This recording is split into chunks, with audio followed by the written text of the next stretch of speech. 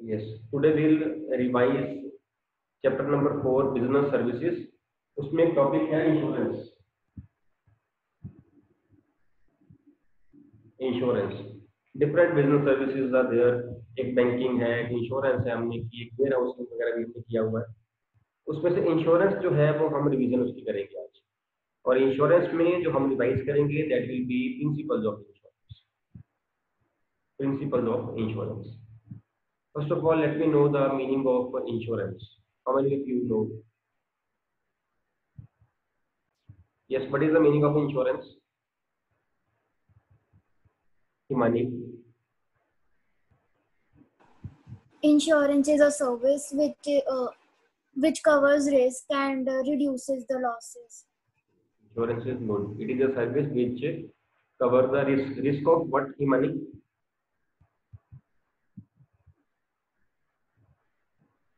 Risk of what, Himani? Uh, loss due to fire or theft. Fire or theft. Other losses also. Risk of life also. Life का risk भी cover करती है ये insurance Yes. और कोई risk होता है हेल्थ का रिस्क भी कवर करती है हेल्थ का भी करती है बच्चे Yes. इंश्योरेंस है ये एक ऐसी सर्विस है जो कि रिस्क कवर करती है, जैसे हिमानी ने कहा risk of life risk due to fire risk in the marine insurance risk of health सारे जो रिस्क है ये कवर करती है। और कौन बताएगा इसके बारे में? इंश्योरेंस के बारे में? और कुछ? Raise please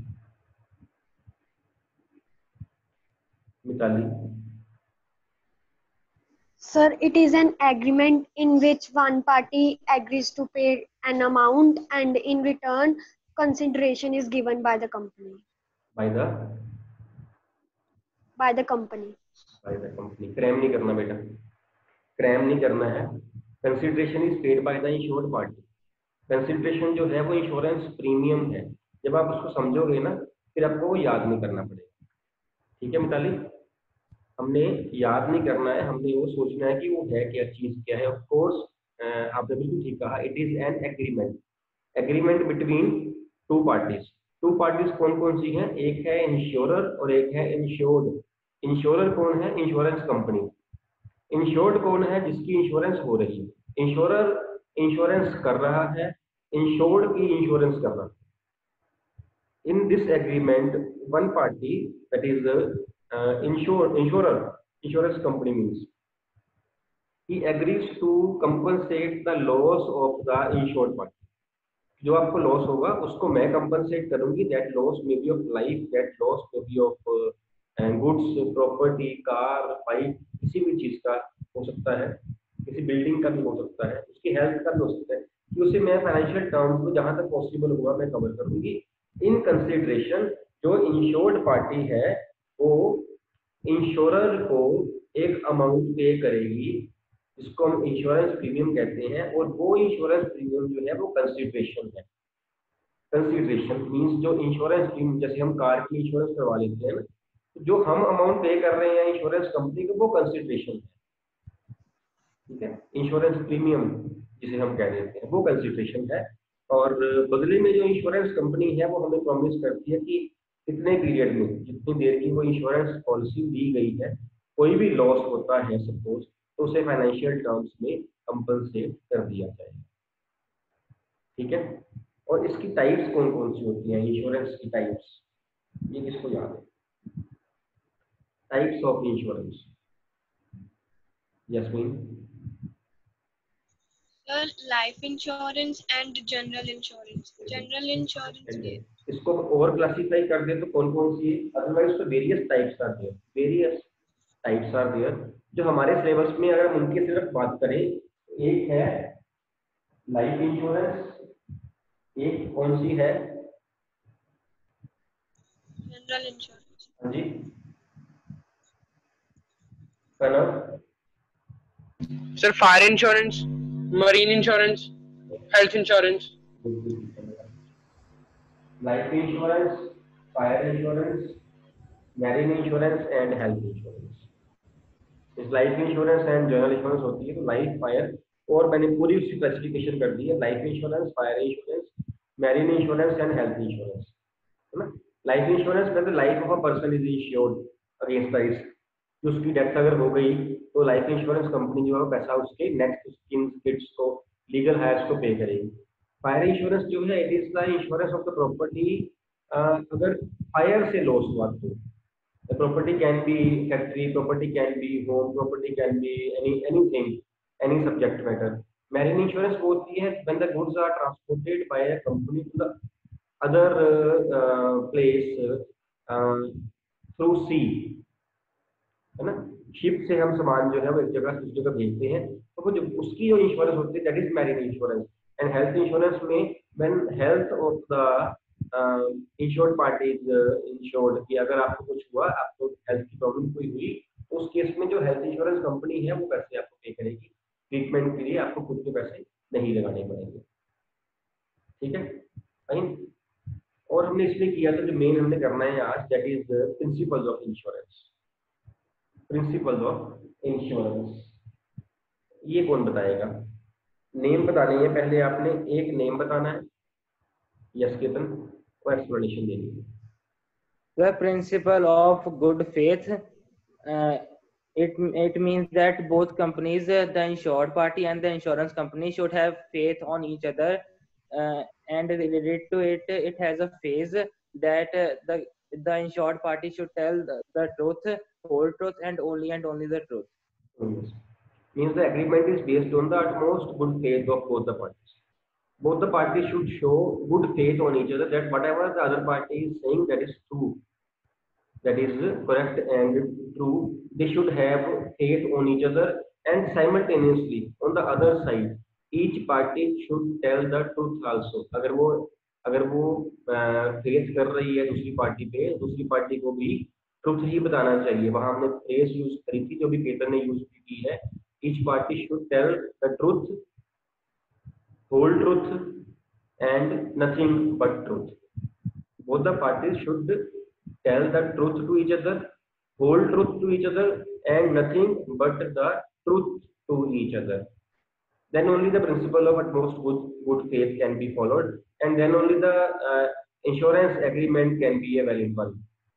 If suppose the insurance if suppose the uh, that uh, uh, principle of most good faith is not followed. Then in that case it will it will become the insurance agreement will become invalid. है ना? हमने उसकी example भी ली थी suppose एक person ने life insurance जो है वो करवा ली। और लाइफ इंश्योरेंस तो करवा ली लेकिन ये नहीं बताया उसको पहले कोई प्रॉब्लम रह चुकी सपोज़ उसको हार्ट की प्रॉब्लम थी।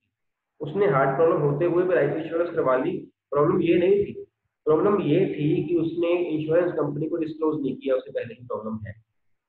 उसने उसको डिस्क्लोज नहीं किया। अब जब डिस्क्लोज नहीं किया, उसकी इन केस बाद में डेथ हो जाए।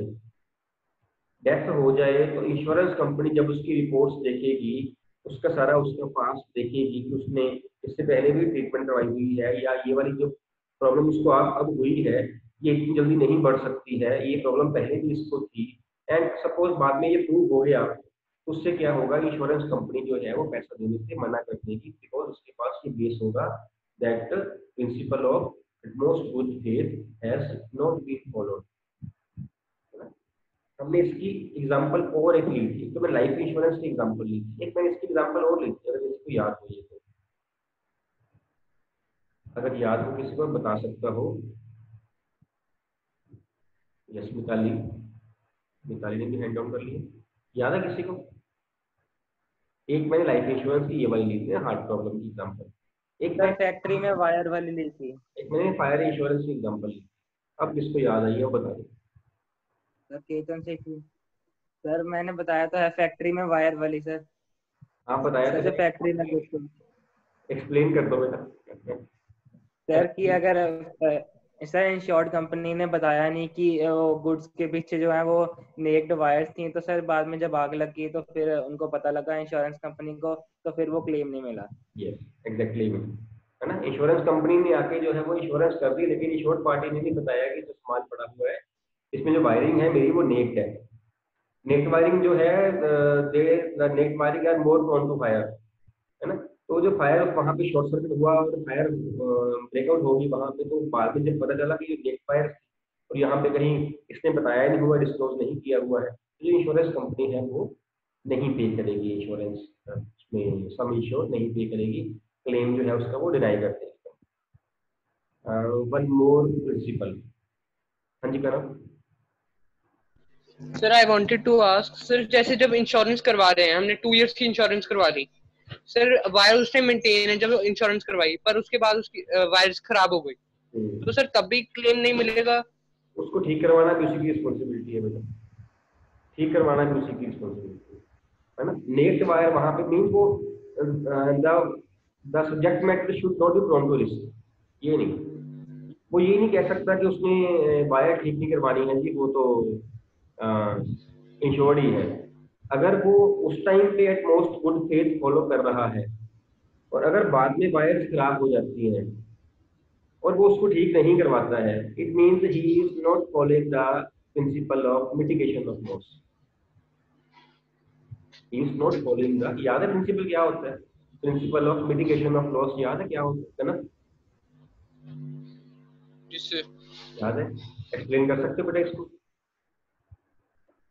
अगर कर सकते हो तो करना मैं साथ ही में एग्जांपल जोड़ लेता हूँ इसकी अगर नहीं तो कोई और बता दे principle of mitigation of loss कौन एक्सप्लेन करेगा Mitali Sir, in this principle, uh, the the insurer should not uh, sit freely and uh, they should do some work. मतलब They should do some effort to minimize the loss. yes mitigation means minimization means all the efforts should be made by the insured party to minimize the loss. ये नहीं कि वो नुकसान हो रहा है या नुकसान हो जाएगा हमारा क्या है हमने तो इंश्योरेंस करवाई हुई है कोई फ़र्क नहीं पड़ता है ना? हाँ, कनम जो आप बात कर रहे थे बेटा उसने जब इंश्योरेंस पॉलिसी ली उस टाइम पे उसने अपना बता दिया कि जी ये देखो जी वायरिंग मेरी ठीक है। उसकी वायरिंग ठीक थी बाद में खराब हो गई। तो बाद में ठीक करवाना भी तो उसी की रिस्पॉन्सिबिलिटी है अगर वो ठीक नहीं करवा रहा है जो वायर वहाँ पड़ी हुई है कनव। उस केस में इट मीन्स कि he is not making any effort so that कि लॉस जो है मिनिमाइज हो जाए। अगर इंश्योरेंस एग्रीमेंट ना लिया होता अगर ना लिया होता insurance agreement in that case क्या हुआ होता उसने वायरिंग ठीक ना करवाई होती अपनी। उसको होता है ना कि यार मान लो कहीं शॉर्ट सर्किट से आग न लग जाए तो अब भी उसको करवानी पड़ेगी। Means every case in every case the insured party should act as if the goods are not insured ये है कि करवाई हुई गुड्स कुछ नहीं जो मर्ज़ी होता रहे कि आप पड़ता है हमने तो क्लेम ले ही लेना है। ऐसा एक्ट नहीं होना चाहिए। अगर यह बाद में प्रूव हो गया कि ऐसे हुआ है तो अगेन जो इंश्योरेंस कंपनी है वो क्लेम को डिनाई करती है। ठीक है ना? ओके सर यस दो ठीक है। दो प्रिंसिपल्स हमारे हो गए। एक हो गया हमारा मोस्ट गुड फेथ वाला और एक हो गया है मिटिगेशन ऑफ़ लॉस वाला। थर्ड प्रिंसिपल कौन बताएगा? Kanika.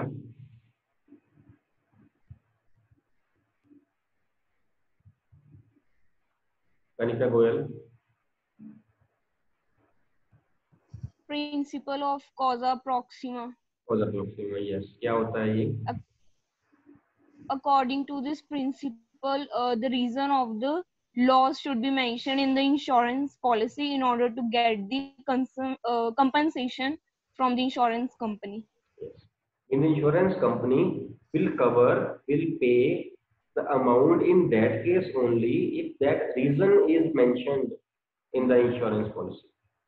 जो इंश्योरेंस पॉलिसी डॉक्यूमेंट हमारे पास आता है कंपनीज़ का, वहाँ पे लिखा होता है कि अगर ये हो गया तो क्लेम मिलेगा, अगर ये हो गया तो उसमें सारे ही रीजन लिखे होते हैं वहाँ पे, सारे ही लिखे होते हैं बट स्टिल कोई एक आध रीजन ऐसा जो कंपनी नहीं लिख पाई और उससे लॉस हो गया तो कंपनी में वो कंपनी जो है उसको एक्सेप्ट नहीं करेगी claim will not be paid to the insured party यहाँ मैंने एग्जांपल कौन सी ली थी अगर आप एग्जांपल ले सकते हो। एग्जांपल कौन लेगा यहाँ पे? हैंड रेज करिए किसी को नहीं याद। अगर मैंने उसका एक वर्ड बोला ना तो आपको याद आ जाएगा। मैं इसलिए मैं वो वर्ड ही नहीं बोल रहा हूँ। चलो मैं अलग से हिंट दे देता हूँ कि ये मैरिन इंश्योरेंस के साथ रिलेटेड मैंने एग्जांपल ली। मानिया?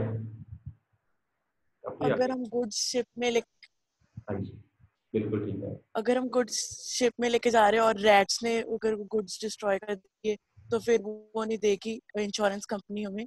अगर वो किसी सी की वजह से मतलब कोई शिप में कोई डैमेज हो गया तब हमें मिलेंगे इंश्योरेंस बिल्कुल ठीक है मानिया याद है आपको? मैं इसको थोड़ा सा एक्सप्लेन कर देता हूँ कि वहाँ पे मैरिन इंश्योरेंस ले ली कंपनी ने इंश्योरेंस पार्टी ने इंश्योरेंस कंपनी से और वहाँ पे लिखा होता है कि ड्यू टू सी पेरिल अगर कोई लॉस हुआ तो इंश्योरेंस कंपनी जो है वो उसको पे करेगी। मीन्स ड्यू टू वाटर अगर कोई लॉस हुआ ड्यू टू वाटर लॉस हुआ अब क्या हुआ? वहाँ पे जैसे हम उस दिन एग्ज़ाम्पल ले रहे थे, वहाँ पे एक रेट आ गया शिप में। रेट आ गया और सारा सामान वो जो है वो कुतर कुतर कर गया, वो सारा सामान जैसे चूहे करते होते हैं, वो कर गया। लॉस हो गया, हुआ सी में। लेकिन वहाँ पे इंश्योरेंस पॉलिसी एग्रीमेंट में कहीं लिखा थोड़ी होगा कि चूहा जो है वो सामान कुतर गया तो हम वापस जो है वो रिस्क कवर करेंगे। सी पानी के कारण तो लॉस हुआ ही नहीं। लॉस पानी से नहीं हुआ। लॉस जो है वो चूहे ने किया। नो डाउट ड्यूरिंग वॉयज हुआ। ड्यूरिंग जो जो जा रहा था सामान हमारा तब हुआ। बट ड्यू टू वाटर नहीं हुआ वो। इसलिए जो कंपनी है वो क्लेम इस केस पे नहीं देगी बिकॉज़ ये केस कहीं मेंशन नहीं था। ये रीजन कहीं मेंशन नहीं था कि चूहे की काम जो है वो खराब करके सामान तो बट सेम एग्ज़ाम्पल को हम किसी और तरीके से ले सकते हैं। चूहों ने सामान नहीं खराब किया, लेकिन चूहों ने शिप में होल कर दिया। उस होल से पानी अंदर आ गया और पानी ने जो सामान था वो खराब कर दिया।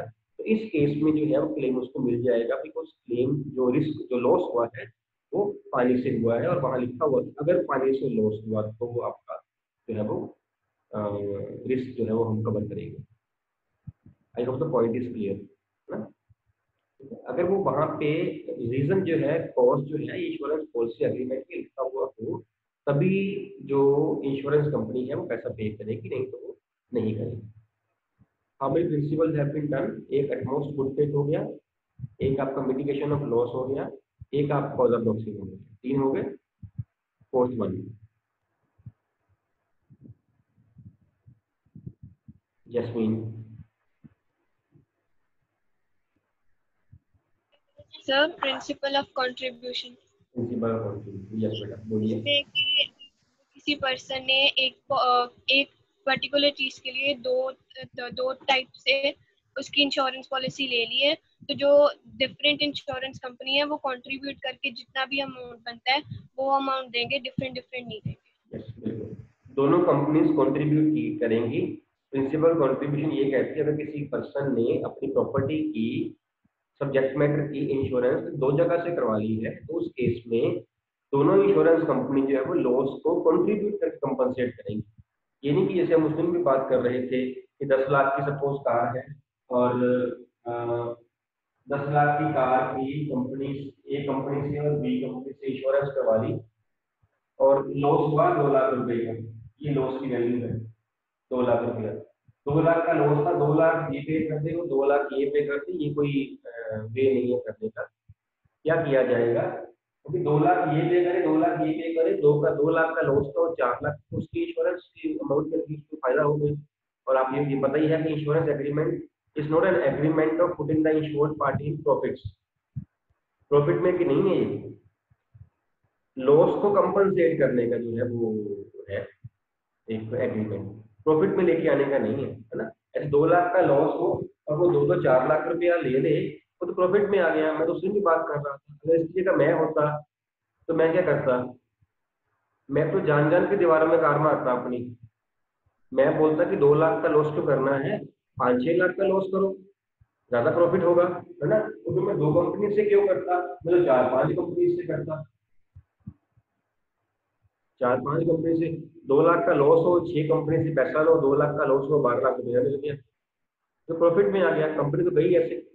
नहीं सो so, जो कंपनीज़ हैं वो कंट्रीब्यूट करेंगी। ऐसे वाले केस में दो लाख के ये नहीं पे करेंगे ये लाख लाख रुपया पे करेंगी ताकि उसका पूरे का पूरा लॉस कंपनसेट हो जाए। The insured party should not be in the position of profit but should be in a position that was just before the loss. उसको उस पोजीशन में लेके आना जो उसका वो पर्पज है इसका इक्वल इक्वल कर रही है उसने पूरी पूरी अमाउंट इक्वल अमाउंट की जो है वो वो पॉलिसी पाई हुई है। ये कर रहे हैं कि दस लाख की पॉलिसी कंपनी ए से करी हुई है दस लाख की ही बी से की हुई है। इक्वल करी हुई है दोनों इक्वल इक्वल जो है अमाउंट उसको पे कर देंगे प्रिंसिपल ऑफ़ कंट्रीब्यूशन बिल्कुल ठीक है। हाँ जी करब सर जैसे मान लो एक कंपनी है वो उसके गुड्स की सेल, सेल कुछ खास नहीं है पर सर उसने सारे गुड्स की इंश्योरेंस करवाई हुई है। और एक्सीडेंटली वहाँ पे फायर लग गई। इंटेंशनली नहीं लगवाई सर एक्सीडेंटली तो सर उसको तो प्रॉफिट हो जाएगा। उसके गुड्स भी उसको पैसा मिल जाएगा गुड्स की उसने सारे गुड्स हुई है इंश्योरेंस यस सर हाँ तो मिल जाए कोई बात नहीं फिर क्या होगा? कोई प्रॉब्लम नहीं है। उसने जान के तो नहीं किया ना। आग अपने आप ही लगी है ना। आप कह रहे हो इंटेंशनली नहीं किया है एक्सीडेंटली हुआ है ना। तो कोई बात नहीं। एक्सीडेंट को तो कवर करती है। एक्सीडेंट को तो कवर करती है। वो उसका प्रॉफिट नहीं हुआ है। मैंने उसका वो प्रॉफिट नहीं है। प्रॉफिट तब होता है अगर दस लाख के गुड्स उसकी जो है, उसको आग लगती उसको पंद्रह लाख मिलता। अगर दस लाख के गुड्स को आग लगी दस लाख ही मिल रहा है। अगर गुड्स दस लाख की उसको आग लगी है तो दस लाख ही रुपया उसको मिल रहा है। हाँ उस केस में आप कह सकते हो, जैसे आप कह रहे हो कि वो उसकी गुड्स की सेल ही नहीं हो रही थी तो वो आग लग गई तो उसकी एक तरीके की सेल होगी है ना? ये कह सकते हैं हम ना उस केस में प्रॉफिट उसको हो गया है बट आग भी इंटेंशनली नहीं लगी। इंटेंशनली नहीं एक्सीडेंटली लगी है, और गुड्स भी जो है वो वही बाई चांस वो खराब हुई है कि जो गुड्स बिक नहीं रही थी। तो ये तो इंटेंशनल नहीं है एक्सीडेंटल है, इस केस में तो कुछ नहीं कर सकते। हाँ उस गुड्स ना बिक रही हों और फिर वो खुद ही आग लगा दे और फिर वो कहे कि जी हाँ जी, पैसे दे दीजिए तो वो रॉन्ग हो जाएगा, वो नहीं। जो हुआ ही एक्सीडेंटली है वहाँ कोई प्रॉब्लम नहीं है भाई। हाँ हमने प्रिंसिपल्स कर लिए एक कर लिया हमने स्टेट वाला। एक हमने कर लिया है मिटिगेशन ऑफ़ लॉस वाला। एक हमने कर लिया है कोजा प्रॉक्सिमा और एक हमने लास्ट वाला सकती कॉन्ट्रीब्यूशन और कौन बताइए ये हमने चार कर लिए हैं। Next one Ketan. Sir principle of subrogation sir इसमें होता था कि इसमें होता था कि सर जो डैमेज प्रॉपर्टी है वो इंश्योर्ड पार्टी की नहीं होगी और इंश्योरेंस पार्टी की हो जाएगी डैमेज के बाद।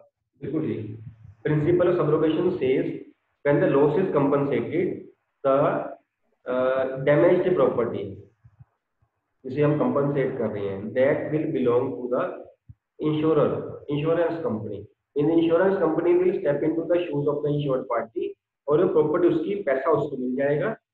प्रॉपर्टी जो है वो उसको बिलोंग करेगी अब इंश्योरर कंपनी ठीक है? हाँ एक और अभी दो रहते हैं मेरे ख्याल से ना। सेवन है ना principles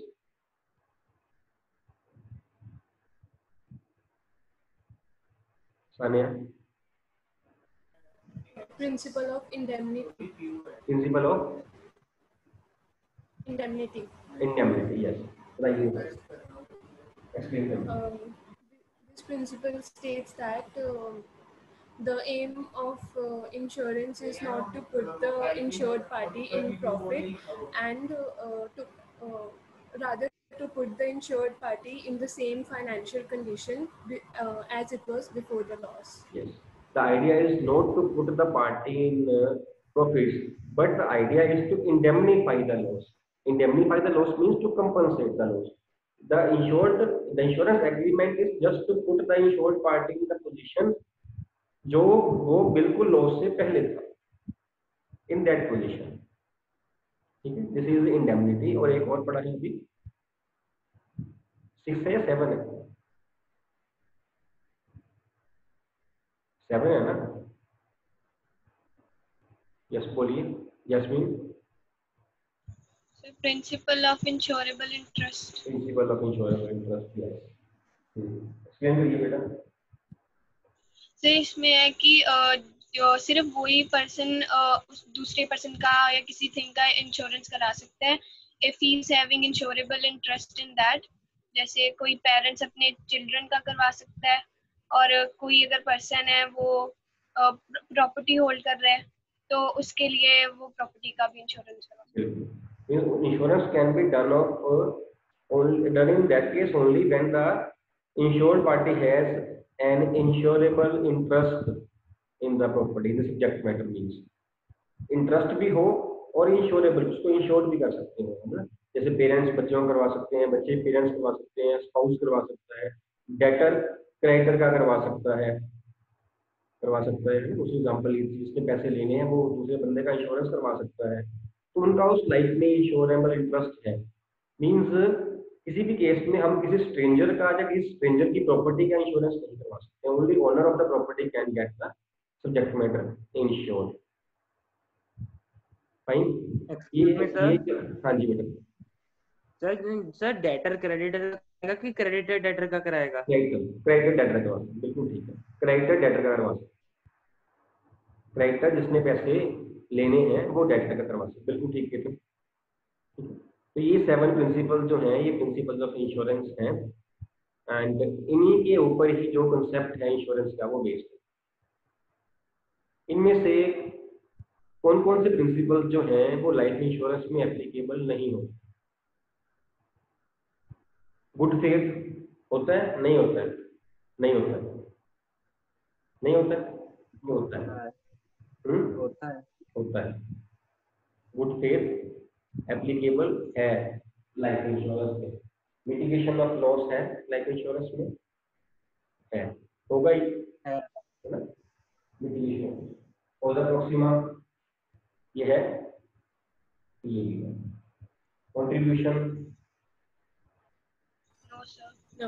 No, sir. ये नहीं। Life insurance can be there from more than two companies subrogation no no sir No, अगर हमने इंश्योरेंस पे कर दी डजंट मीन कि वो डैमेज प्रॉपर्टी जो इस केस में डेड बॉडी होगी वो ले जाएगी। डेड बॉडी तो उनकी है। Indemnity No.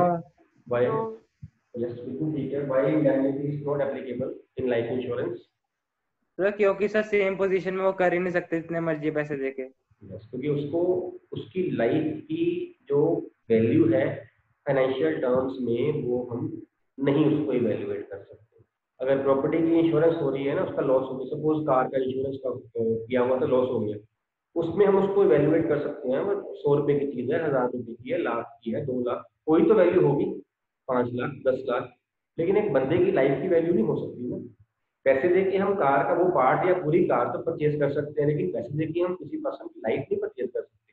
सो so, इंडेमनिटी जो है वो ये कहता है कि the idea is to put that company that party insured party in the same position as it was before the loss but indemnity जो है वो लाइफ इंश्योरेंस में नहीं हो सकती। We can't put the party that position जो loss से पहले थी। Means we can't recall that person कि पैसे दे दो, भगवान को और बंदे वापस ले लो। ऐसे होता तो कोई मरता ही ना आज तक तो। सारे पैसे वालों के, सारे बंदे ज़िंदा ही रहते। गरीब बंदे मरते रहते बेचारे। गरीब बंदा कहता है, मेरे बार वापस कर तो सात बार का ले जाओ। फिर वो ये कहता है है ना? उसके बाद पैसा नहीं है मेरा पैसा ले लो मेरे से मेरा बंदा दे दो और साथ वाले किसी और का ले जाओ है ना? तो इंडेमनिटी जो है वो प्रिंसिपल एप्लीकेबल नहीं है। इंश्योरेबल इंटरेस्ट ये है एप्लीकेबल या नहीं? है। है।